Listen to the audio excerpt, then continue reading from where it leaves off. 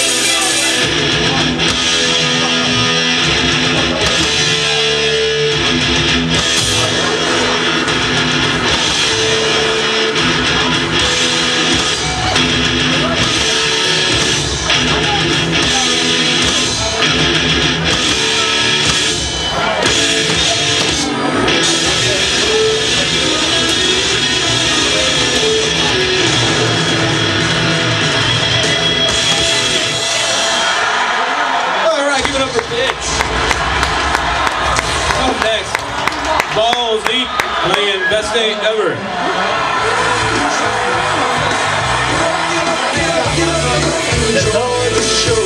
Ever.